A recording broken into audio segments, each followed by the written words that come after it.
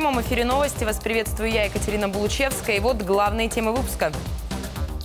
Омск в дыму. Эксперты раскрыли причины утреннего смога. Их профессия – созидать. В преддверии Дня строителя власти чествуют лучших специалистов отрасли. Всегда рада гостям, если они тараканы. А мечи жалуются на старушку, которая превратила собственную квартиру в мусорный полигон. Зачем мадам Плюшкин коллекционирует хлам и есть ли на нее управа? Будет и на нашем поле праздник. Это только начало игрового сезона. Мячи вас верят? Губернатор поддержал речников после обидного проигрыша в первом домашнем матче сезона. И свидание со звездами. Этой ночью мечи увидят самое яркое падение метеоров. Расскажем о выгодных точках для наблюдения.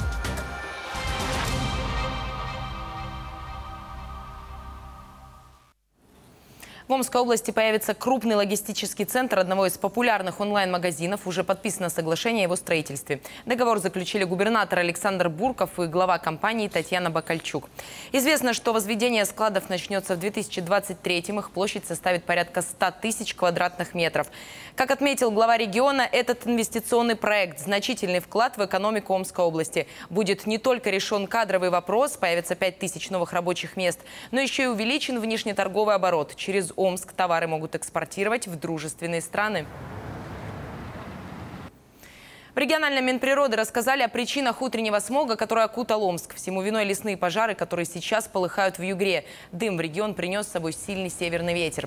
Режим чрезвычайной ситуации в Ханты-Мансийском автономном округе объявили еще 2 августа. Площадь лесных пожаров там на данный момент превышает 84 тысячи гектаров. Всего зафиксировано 65 очагов.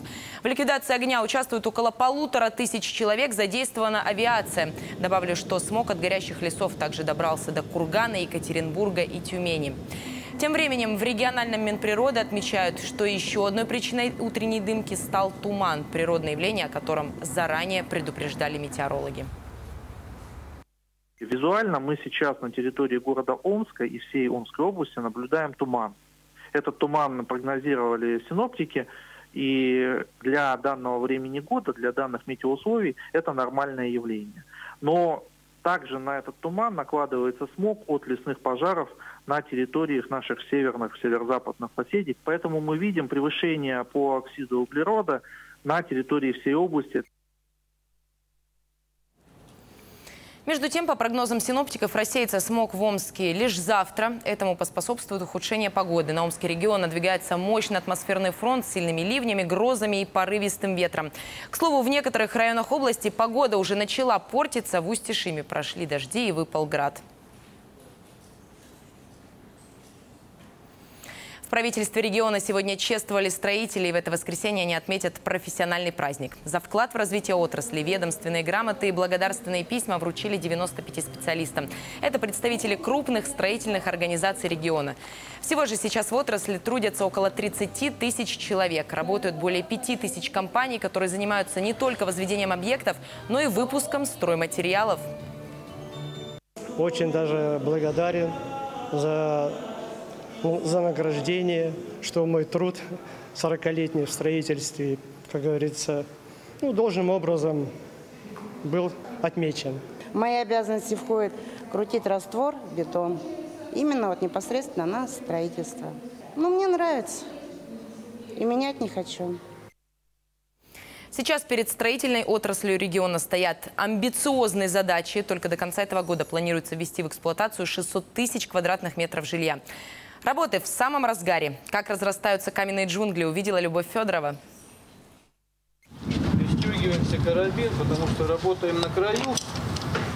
Все. Пристегнутый к поясу. Все, зафиксирована каска.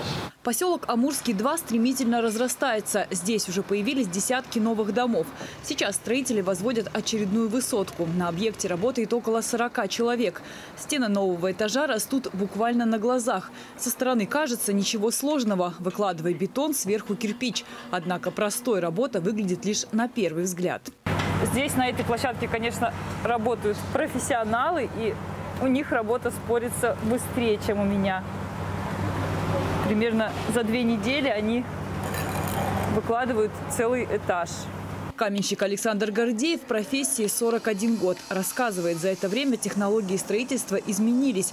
На башенных кранах появилось программное управление. Меняется и возведение домов. Стены там пошли другие маленько, там э, дома вот пошли заливные, тоже раньше были только кирпичные, панельные. Омские специалисты не только возводят объекты на предприятиях региона, еще и производят все необходимое для строительства. Материалы, изделия, конструкции. Это позволяет не зависеть от поставщиков. Стройматериал привозится почти со всего региона. но в основном это омские материалы. Бетон омский наш с завода выпускается арматура. Сейчас перед строительной отраслью Омской области стоят амбициозные задачи в рамках реализации крупных национальных и инвестиционных проектов. Так, до 2025 года будет построено больше 100 врачебных амбулаторий и ФАПов. В поселке Восточном появится поликлиника для взрослых и детей. Здесь смогут принимать больше 300 человек. Завершается сейчас и одна из самых грандиозных строек возведения новой G-Drive-арены. Сдать объект должны к 1 сентября. Увеличиваются объемы ввода жилищного фонда. Жилищное строительство на первом как сегодня у нас э, показывает месте жилищное строительство. Уже по итогам э, полугодия у нас э, по статистике порядка 406 600 квадратных метров сдано. Это в 2,4 раза по отношению к 2021 году. Поэтому, конечно, идет у нас масштабное строительство. Естественно, к строительству мы сейчас относимся не просто как к точечному какому-то, а к комплексному освоению, чтобы мы продумали до мелочей, что человек должен жить, работать в этом месте, но и также все объекты социальные, культуры и здравоохранения присутствовали. До 2034 года в Омске возведут современные микрорайоны «Зеленая река» и кварталы Драверта на левобережье. Новые жилые комплексы появятся в Амурском поселке и на Московке. Любовь Федорова, Сергей Пайхалов и Павел Манжос. 12 канал. Студент, обстрелявший школьниц из винтовки, хочет обжаловать решение суда. Два с половиной года условно кажутся юноши незаслуженно суровым наказанием. Сторона защиты уже подала ходатайство. Инцидент, я напомню, произошел год назад на путепроводе по улице Демьяна Бедного. Подростки решили устроить фотосессию на виадуке, но вот вместо эффектных кадров получили огнестрельные ранения. 17-летний житель частного сектора решил попрактиковаться на девочках в прицельной стрельбе. В суде парень настаивал, из пневматической винтовки целился не в подростков, а в птиц. Прокурор требовал для хулигана три с половиной года колонии, но судья постановил два с половиной условно. Теперь же выясняется, юноша с вердиктом не согласен, хочет смягчить приговор. Родители пострадавших школьниц возмущены, против выступают и представители прокуратуры. Сторона обвинения уже подала апелляцию с требованием ужесточить стрелку приговор.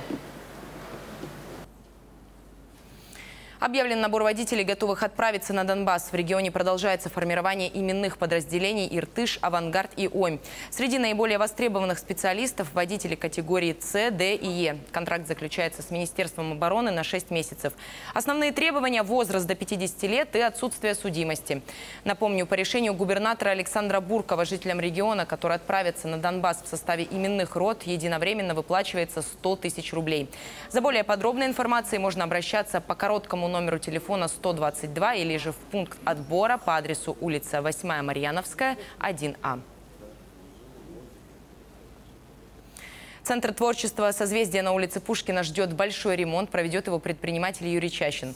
Накануне глава города Сергей Шелест подписал с меценатом соглашение, рассчитанное на два года. В здании планируется заменить окна, часть коммуникаций, сделать косметические капитальные ремонты в помещениях, а также привести в порядок крыльцо и фасад. Уже утвержден график работ, составленный таким образом, чтобы никак не помешать занятиям. Центр относится к учреждениям дополнительного образования. Конкретно в этом подразделении занимаются 160 дошколят. Наконец-то отношение к городу становится не как э, потребительское, а как э, к общему дому, где мы все проживаем. Да? И для того, чтобы наш дом был э, красивым, комфортным, удобным, каждый из нас должен в меру своих возможностей помогать. Многим учреждениям требуются сегодня капитальные ремонты, обновления. А здесь дети, дети обучаются. Вот, а это, безусловно, очень важная, если не главная часть нашего города. Это наше будущее поколение, это наше будущее. Поэтому это вложение в детей, это в потенциал развития. Нам очень хочется, чтобы и дети, и выросшие дети не покидали наш любимый город, не покидали наш любимый регион. По словам бизнесмена, это уже второе соглашение с мэрией. Первое было подписано 6 лет назад. Тогда предприниматель пообещал провести комплексное благоустройство участка улицы Пушкина от Масленникова до Маяковского, на котором расположены его объекты. Так появился Пушкинский бульвар с отремонтированными тротуарами, новыми парковками, фонарями, газонами и клумбами превратила квартиру в мусорный полигон. А мечи жалуются на соседку, которая коллекционирует хлам и в буквальном смысле отравляет жизнь всему дому. Из-за свалки, организованной пенсионеркой, завелись тараканы. По словам местных жителей, насекомые уже оккупировали несколько этажей, а в подъезде стоит нестерпимая вонь. Есть ли управа на незамечательную соседку, разбиралась Анастасия Донец. Вонь непередаваемая. Старая одежда, упаковки от продуктов, пустые банки. Квартира Тамары Александровны похожа на свалку. Горы мусора почти полностью загораживают окна и дверные проемы. Из-за едкого запаха трудно дышать. Вольготно в этой обстановке чувствуют себя лишь тараканы да муравьи. Хотя бывают в нехорошей квартире и гости. Друзья Тамары приходят обычно по ночам. Веселая компания распивает спиртные напитки и не дает соседям уснуть. Они гуляли, они пьянствовали, у них тут такая компания была ужасная. Ужасно пели песни допоздна. Они не работают и это, и гуляют. Всегда я к ней приходила, предупреждала, жаловалась на нее и говорила. Она сказала, я отдыхаю, я на пенсии. Прерывать свой отдых пенсионерка не захотела даже ради общения со съемочной группой 12 канала. На вопросы корреспондента ответила кратко. Регулярно проводит уборку, а про насекомых вообще первый раз слышит. Здравствуйте. Здравствуйте. А, соседи нам позвонили, сказали, что от вас тараканы бегут. Нет, нет, у меня тараканов нету. У вас порядок дома? Нет, нет, порядок. У меня нету тараканов. Что у меня нету, то нету. Договориться с проблемными соседями, как правило, получается редко. В таких случаях юристы советуют обращаться жильцам дома в профильные ведомства. Для начала в Роспотребнадзор. Специалисты должны выехать на место и составить акт. С документом можно обращаться в суд. И тогда уже Фемида заставит ответчиков привести жилье в порядок. Если такой способ не сработает, жалобы могут принять и в администрации округа. Администрация э, должна установить срок для такого собственника, в течение которого этот собственник должен устранить эти э, явные недостатки в содержании этого помещения. Если в этот срок, который тоже быть, должен быть разумным, этот собственник не предпринимает никаких мер по устранению этих недостатков, администрация вправе вправе, опять же, не обязана, вправе выступить э, в, в исковом производстве, в судебном порядке, изъять это помещение. Это крайняя мера. Пока жильцы дома пытаются решить проблему с нечистоплотной соседкой мирным путем. Убеждают навести порядок в квартире. Параллельно занимаются и подготовкой документов. Говорят, если женщина не пойдет навстречу, просто вынуждены будут обратиться в надзорные ведомства и добиться выселения пенсионерки. Анастасия Донец, Матвей Алемский, 12 канал. Амичка разработала гид по безопасности для геолога-разведчиков. Проект Валерии Анпиловой позволил ей попасть в число полуфиналистов конкурса «Большая перемена». Студентку университетского колледжа МГПУ, а также еще 38 человек отобрали из 14 тысяч претендентов. Амичка подготовила специальный сборник, включила в него все опасные ситуации, которые могут случиться с геолого-разведчиками, что называется, в поле. Ранее приходилось искать такие инструкции в разных памятках. Единого сборника в России не было. К тому же это единственный подробный гид, в который включены все природные зоны планеты от морозной Арктики до жаркой пустыни. Пока издание существует только в электронном варианте, но уже в конце августа студентка отправится в Красноярск, чтобы в очередной раз представить проект в полуфинале конкурса. Я хотела быть геологоразведчиком, но потом поняла, что это очень сложно, потому что в основном это работа для мужчин, там очень тяжело, э, особенно суровые условия, далеко от семьи.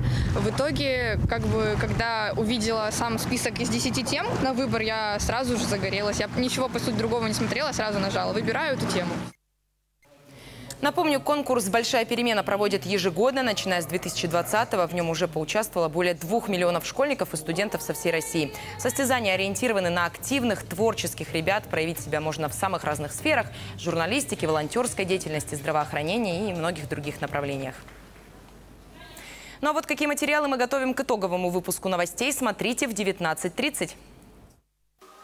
С пользой для здоровья и экономии для бюджета у амичей появилась возможность оформить налоговый вычет за занятия спортом. Горожане могут вернуть 13% от покупки абонемента или же оплаты тренировок. Очень много клиентов, кто спрашивает налоговый вычет, покупают целыми организациями абонемента, чтобы этот вычет сделать. Много пенсионеров стало обращаться в связи с этим вычетом. И многодетные семьи, льготников больше появилось. Получить компенсацию для клиентов каких фитнес-клубов действует подобное предложение? Наталья Змага подготовила подробную инструкцию. 50 оттенков севера. Омские дизайнеры открывают эко-выставку, которая призывает задуматься о загрязнении рек. Изначально проект планировался как всероссийский, но идею о мечей поддержали и за рубежом. В нашу арт-резиденцию прислали десятки принтов, в которых отчетливо видно, как рука человека ведет к глобальному климатическому сдвигу. Мутирующие рыбы, пятна мазута, нерастворимый в воде мусор. Эко-арт собрал все острые проблемы. Но в экспозиции не только негатив. Наталья Роголева расскажет, как современное искусство побуждает взять на себя ответственность за происходящее происходящее в мире. Подробности в 19.30. Джазовые импровизации под открытым небом Омская филармония готовится к проведению большого 10-часового музыкального марафона. На этот раз в парк на Королева приглашают любителей джаза. 20 августа здесь состоится Сибирский джазовый фестиваль. Его арт-директор, друг Омской филармонии и выдающийся пианист-импровизатор Даниил Крамер. Для зрителей подготовили программу из 9 концертов. Артисты будут выступать на двух сценах, большой и малой.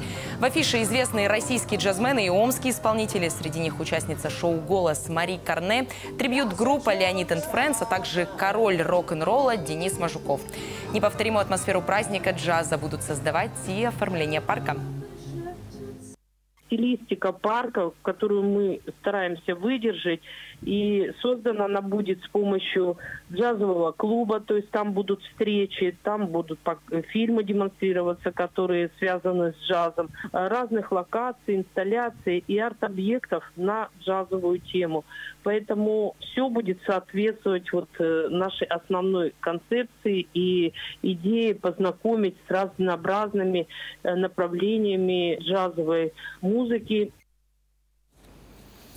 Не смогли порадовать болельщиков. Свой первый в нынешнем сезоне домашний матч футболисты Иртыша в сухую проиграли соперникам из Ижевска. Уже на 18-й минуте встречи отличился нападающий гостей Вячеслав Журавлев, а на 64-й мяч ворота речников отправил форвард «Зенита» Данил Наговицын.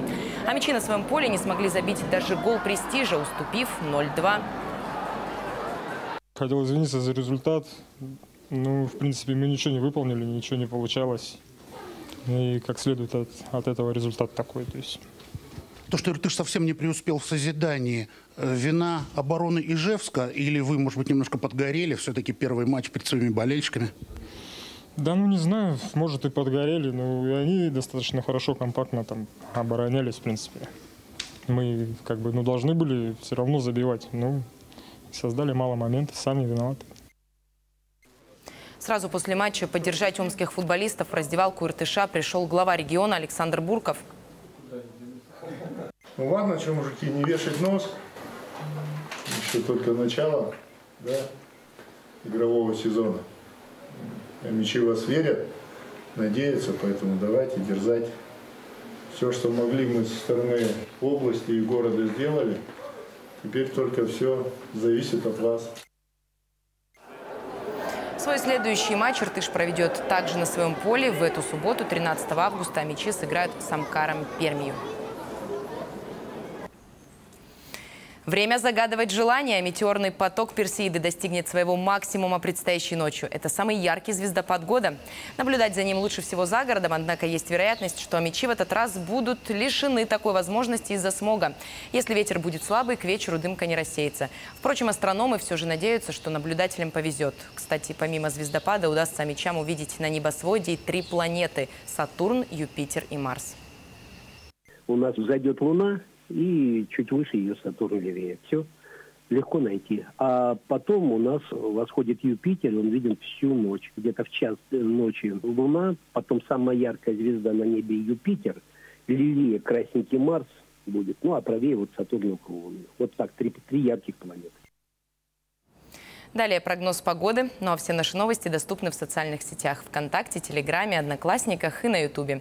Найти их можно и на сайте 12канал.ру. Также вы можете предложить свои новости, прислать их нам по электронной почте или же позвонить в редакцию по телефону 695 641. Оставайтесь с нами.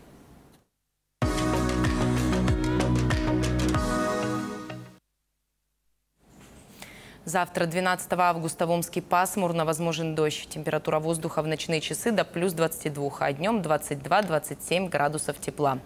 В районах переменная облачность, дождь, ночью плюс 13, плюс 15, а дневная температура 21-26 градусов выше нуля.